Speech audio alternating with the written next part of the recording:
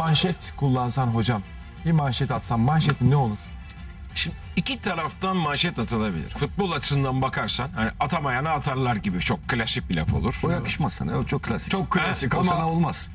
ama hocam öyle oluyor. Klasik ama hep gerçekleşiyor ya. Vallahi billahi. Yani bir başına bir bela Kayseri geliyor. Spor ya. Ligi'nin en çok gol yiyen takım. Ama ya, ya tamam da bu Ama kadar iki gol- taraftan bakıyorduk daha bakmadık. Hiçbir Bakmadık, taraftan evet. bakamadık. Bir hoca bir taraftan bir göstersen bize Neyi göstereceğim? E, hani manşeti diyorum hocam. Manşet. Ben sabah gazetesinde yazımı yazdım. Benim tabii hakem kökenli olduğum için yazımı da büyük oranda hakeme ayırdım. Zekeriya Alp ve VAR sisteminin iflasıdır bu gece. Çok açık. Ve açık konuşuyorum. Eski hakem. Hayatımda iki defa şirket teklifi aldım. Bunu da defalarca birçok kanalda, Star'da olsun, başka kanalda olsun anlattım. İsim vererek. Ama dün gece saat 22'den bugün saat 17'ye kadar. Geçen telefon konuşmalarını verir misiniz? Mossad, CIA filan çıkarsa verse Türkiye'ye Türkiye'de futbol seyircisi hepsi kusar bırakır handbola başlarlar, beyzbola başlarlar falan filan. Neyi verseler hocam? Mossad. CIA falan. Adımın Ahmet Çakar olduğu gibi biliyorum. Adımın Ahmet Çakar olduğu gibi. Onur. Şimdi bu adam. Bunun adı Zekeriya Alp. Şimdi mantıken düşünelim. Polis gibi. Bir adam 70 yaşındadır. Parası pulu da vardır. Üstelik gelmediği bir camia. Ha 70 yaşında bir adam Beşiktaş'ın menajeri olabilir, altyapısı olabilir, başkanı olur lafım yok. Gelmediği bir camiaya ikinci defa gelmeyi kovalayıp ne düşünür? Şimdi buradan bambaşka bir benzetme açıyorum. Lütfen bunu Zekeriya Alp'le alakası yok. 70 yaşında bir adam. 15, 16, 17 yaşındaki kız çocukların oturup çay kahve içtikleri yere sık sık takılıyorsa. Bu benim için çok ciddi emaredir. 70 yaş- genç bir delikanlı takılır orada bir kızla tanışmak falan bu çok mantıklı sağlıklı bir şey. Şimdi soruyorum. Bununla bunun bir alakası yok örnekleme anlamında. 70 küsür yaşında bir adam eski futbolcu eski hakem olsa anlarım. Bu işi niye kovalar? Üstelik pa parası yoktur. Buradan alır 8, 10 bin, 15 bin kaç para maaşsa buna ihtiyacı var ona lafım yok. Ona da saygı diyorum ekmeğe saygım var. Bu niye kovalar? Şimdi ben ona soruyorum. Dün gece saat 22'den bugün saat 17'ye kadar ne yaptın? Çok net soruyorum. Zekeriya Alp'e soruyorsunuz. O Dün adam, gece o adam, o adam. 22'den O kişiye. bugün saat 17'ye kadar ne yaptı? Dün gece 22'den kabaca 22 Hı hı. yani Sayın Ahmet Ağaoğlu'nun televizyonlara bağlanmak bağlanmaya başladığı dakikaya sıfır noktası dersek yaklaşık da buna 22 dersek gece 22 dün gece 23, 24, gece 1, 3, 5, sabah 6, 8, 10, 12, 14, 17 yani hakemlerin bugünkü hakemlerin otelden çıkıp maça doğru gitme, gittikleri saat 2 saat önce olsa maç 19'da olsa 17 yani akşamüstü 5'e kadar Ne bana neler olduğunu birisi anlatacak. Hocam hafif biraz anlat. Anlatıyorum. Anlatıyorum. Hafif. Bakın arkadaşlar. Sen futbolcunun antrenmanında Abdülkerim Ümit trip mi yapıyor? Tafra mı yapıyor? Yorgun mu? Dün Kaytarıyor gece mu? uykusuz mu? Kaytarıyor A- mu? He? Kaytarıyor mu? Evet. Hocası olarak size gıcık mı? Bu arkadaşına uyuz mu? An- antrenman maçında Santrafor'a top atlıyorlar ha içeride bir ikileşme var. Bunun kokusunu alırsınız doğru mu eski futbolcu olarak? Doğru mu? Evet. Doğru. Ben bir hakem. Sahaya çıktı. Seremonideki göz hareketinde. Düdüğü çalarkenki futbolcuya bakışında. Neler yaşadığını biliyorum. His bu his. Bakın kim? Nihat Özdemir Beyefendi'ye soruyorum. Sayın Federasyon Başkanı. Dediniz ki Türk futbolunun namusu bendedir. Okey. Zaten namus da sizde olmak zorundadır. Türkiye Futbol Federasyonu Başkanı. Dün gece Trabzon'un hakkı yendi. Çatır çatır. Penaltısı verilmedi. Penaltı verilmedi. O Soza'ya basan çocuk Aynen. atılmadı. Bak. Vardan tık yok. Tık yok. Tık. Haklı olarak Trabzonspor başkan düzeyinde Sayın Ağaoğlu kanallara bağlandı ve seviyeli, kibar ama ağır gider yaptı.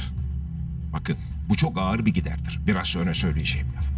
Sanıyorum bizim Serkan Korkmazların A Spor'da konuşmasını izliyorum. Biz insanları mezardan da çıkartmasını biliriz dedi. Bu bir tehdit değil. Mezar derken ölüm diye düşünmeyin. Serkan dedi ki ona.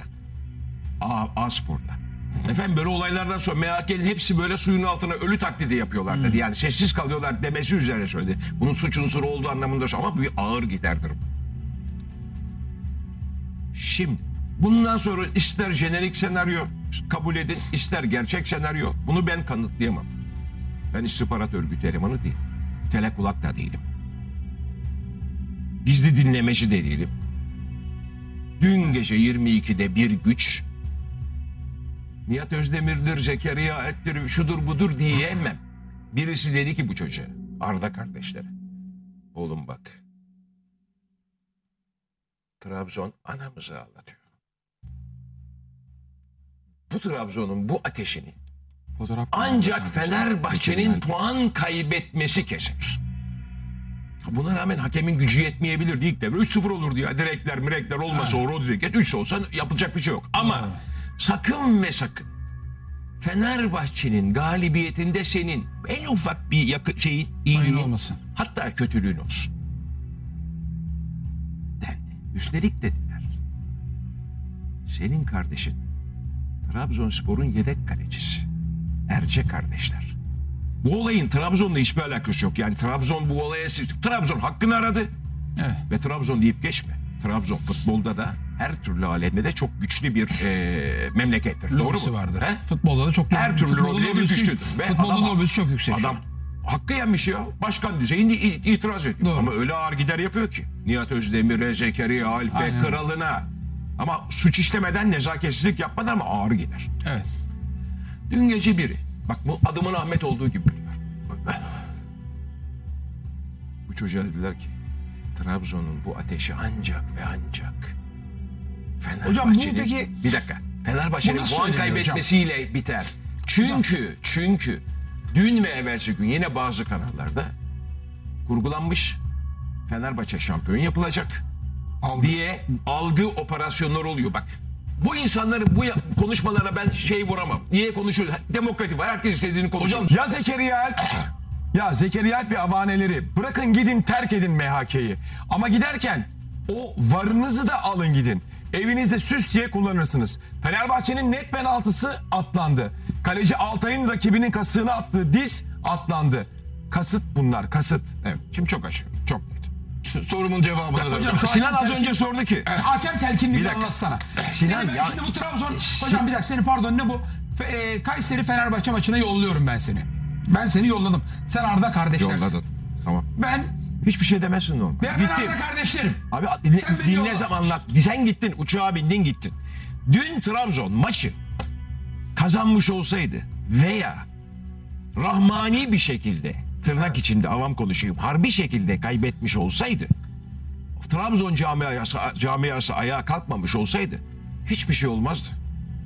Sıkıntı şu 22'de gece 22'de Ahmet Ağaoğlu Sayın Başkan Trabzon Başkanı sportmenlik ruhuna aykırı olmadan ama çok ağır gider yaptı.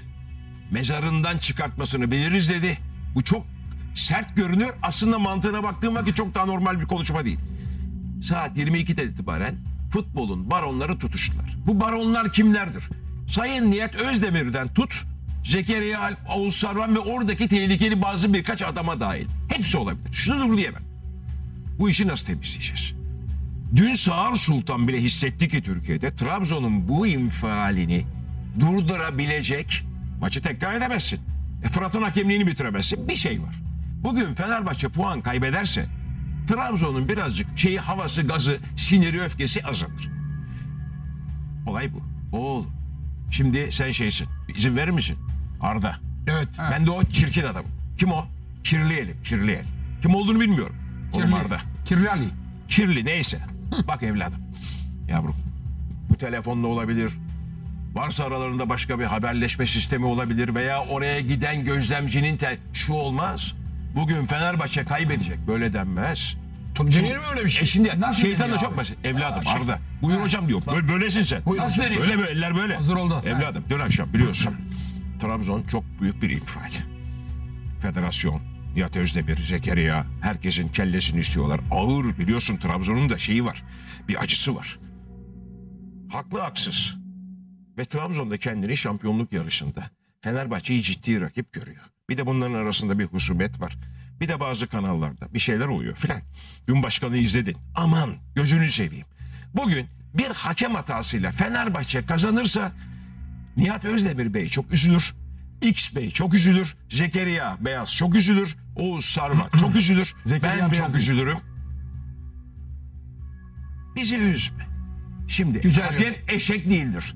Hakemler Türk futbolundaki en büyük şeytanlardır. Buna ben de dahilim. Sen en büyüğüsün. En büyük şeytanlardır. Aptal adamdan hakem olmaz. Bak aptal adamdan futbolcu olur. Ama aptal adamdan hakem olmaz. Tamam. Hakem dedi ki ha mesaj şu. Sağ ol hocam. Maç başladı. Fenerbahçe 1, 2, 3, 4 yapsa hakemin yapacağı bir şey yok. Bir pozisyon var. Vedat Muriç'e yapılan diz kapağına basılan bir baskı. Dünyanın her yerinde çok açık sarı kartlık bir penaltı. Tabii bu aynı sinyal var hakemine de gitti. Var hakemi kim bilmiyorum. Ben hayatımda ilk defa. Getirin ekrana arkadaşlar rica edeceğim rejiden. Hocam, Yönetmenimden. Ya görüyorum hocam. ben maçta kapağını misiniz arkadaşlar? Ben maçta gördüm. Şimdi bak pisliklerden ve ben bunu ispat edeceğim. Beni çok iyi dinleyin sevgili Hocam. Şimdi ben, Tugay Kaan Numanoğlu. ben eski bir hakemim. İsmini duydun mu? Hayatımda ilk defa duyduğum ve suratını hiç görmediğim bir çocuk. Tugay Kaan Ben Numanoğlu. görmemişsem, ismini duymamışsam bu çocuğun bu maça var hakemi olması sağlıklı değildir. İçine de soruyorum. Herhalde %95'iniz bizi seyreden yüz binlerce genç, yaşlı, ihtiyar, erkek, kadın. Ben ilk defa duydum. Tugay Kaan Numanoğlu adlı bir hakemi tanımazlar. Ben tanımıyorsam, siz tanımıyorsanız bu adamın, bu çocuğun burada var hakemi olması bir defa entrikadır. Ben bu çocuğu Ama önemli bir tanımıyorsam, nokta. siz tanımıyorsanız %95'iniz bu adamın burada olması çoktur. Belki çok iyi çocuktur. Belki ileride de büyük hakem olacak. Ona lafım yok ayrı bir şey. Peki maç başlıyor. 3-4 olabilecek direkler, mirekler, kaleci, lung, mung. 15. dakika. Aynı Gidip anda açıklanıyor. Vedat Muriç'in diz kapağını arkadan basıyorlar. Sarı kartlı kare. Var gibi bir gün. Hiç kık yok. Yalova. Ve şu da yok. Bakın arkadaşlar. Yalova. Şu Hocam Yalova bölgesi. ya Yalova Bursa işte aşağı birbirine yakın yerler. Ben mesela böyle bir pozisyon olsa hakem olsam ilk top taşa çıktığında beklederim oyuncu. Bir davet var mı? Çünkü orada alengirli bir şey oldu. Diskutable, tartışılan bir şey. Hiçbir aa maç devam ediyor. Paldır küldür. Ve Fener'in fenası atlanıyor. Arkasından bir el var. Böyle kaldırıyor da. Buraya mı çarpıyor? Buradan çekip buraya mı çarpıyor? O da- Onu da aldım. Tekrar söylüyorum. Asla Fenerbahçe'nin mağlubiyeti hakem yüzünden olmuştur demem. Fakat Ben bütün bu entrikaları dün geceden abi. bugün 17'ye kadar yaşanan olayların ispatı bir olaydır. Her şeyi sığdırabilirsiniz. Penaltıdır, diskutable'dır çağırmadım. Şimdi hakem Tugay Numanoğlu'nun şeyiyim ben, avukatıyım. Onu da Arkadaşlar. Tugay Numanoğlu dediğimiz kardeşimiz ve Arda kardeşler ben hekim iki hakemin de yalağıyım. İki hakemin de avukatıyım. Ya tamam mırıç vurdu ama biliyorsunuz UEFA FIFA diyor ki böyle tartışılan şeylere çağırma. Böyle yuvarlak oldu mu çağırma. Kıvırcık oldu mu çağırma. Peki soruyorum. Zekeriya Beyaz'a soruyorum. Sayın Nihat Özdemir'e soruyorum. Herkese soruyorum. Oğuz Sarvan denen bana göre vasıfları çok aşağıda olan bir hakem eskisine soruyorum. Hepsini anlarım. O Hokkobaz Ulimberg'e de soruyorum. Ki benim yan hakemimdi o. Katarlarda matarlarda çok maç yönettik Arabistanlarda. Evet. Sizlere soruyorum. Penaltıyı anlarım. Tartışılır dersiniz. Ayağını soktu dersin. El açık değil dersin. Hepsini anladım ya. Bir erkeğin bir erkeğin ayalarına dizle vurmak adamlık mıdır? Bir. Futbol oyun kurallarında bu. Kırmızı kart mıdır? İki. Burada da çağırmıyorsan bunun adı maçan yemiyor demektir. Niye maçan biliyor musun? Aynen. Talimatlı adamı penaltılarda hiç çağırmadın. Orada da çağıramazsın çünkü niyetin kötü. Bugün Türkiye'de bir vatandaş desin ki bana bunu Fenerbahçe kalecisi Altay'ın babası dahil. Altay'ın yaptığı harekette bir şey yok. Ben işte baba, babasıyım. Ben bu Kırmızı. alemde Bir kişi desin hocam ki bana. söylüyorum. Ha. Bak Kırmızı. bu söylüyorum. Altay'ın babası değilim de Kırmızı. babası kadar severim. Tamam mı? Çünkü benim takımımın kalecisi genç bir adam. Bu hatta Altay'ı görsem kulağını çekeceğim. Bu ne? Bu yapılır mı? Sorumsuzluk. Bu yapılır mı? Aynen öyle. Takım bir de mağlupken. Bir Aynen. sıfırken. Bak bu hocam bu kırmızı kart. Yani Fenerbahçe foul atacak evet ama Altay'ı da oyundan atacak. Bugün. Şimdi ben hakemle kaybettik bir de- bir de demiyorum. şunu diyor, bir dakika. Onu da söyleyeyim Türkiye'deki yani. 80 5 tane kaçtık. Se- 6 direkten Sorun o değil, o ayrı bir konu. Türkiye'de 80 milyon, dünya üzerinde 7 milyar insana soruyor. Alın, durun. Hızlı çekimde hakem görmeyebilir tamam. Var onun için var zaten. Şuna yapılan hareket bir TCK'ya göre suçtur. Yolda bir adamın kasıklarına vurursan bu dizi hüküm gersin. İki, adamlık değildir. Üç, futbolda da karşılığı net bir kırmızıdır. Eğer sen burada var hakemi olarak hop kes oyunu bak bakayım deyip attıramıyorsan bir ya gerizekalısındır değil aptal adamın hakem olmaz. İyi hakem değilsindir bunun için hakem olmaya gerek yok. Korkaklar hocam. Üç. Hepsi ya. Günah çıkar diyorsun yapamıyorsun. Sonuç bu geceden itibaren Nihat Özdemir'e açık bir şekilde önce rica ediyorum. Asla bize tehdit falan ne haddimize öyle adamlar değiliz. O koltukta rahat oturmak ve hala Türk futbolunun namusunu taşıyan Nihat abi olarak kalmak istiyorsanız Sayın Başkan. Yarın sabahtan itibaren mevcut MHK'nin görevler el çektirirsiniz. Ha Çektiremez. çektirmezseniz ne olur? Çok ben çok gördük. Hocam. Ben demiştim ki Zekeriya Alp'e. bana rağmen o koltuğa gelirsin. Ama bana rağmen o koltukta oturamazsın. Hocam. Şimdi Nihat Özdemir'e bir dakika Sinan. Nihat Özdemir'e söylüyorum. Her şeye rağmen oraya gelebilirsiniz. Ama namusun bekçisiyseniz ki öylesiniz. iyi niyetinize de inanmak istiyorum. Yarın sabah bu MHK'yi görevden almazsanız iş size rücu edecek. Buyur kardeşim. Hocam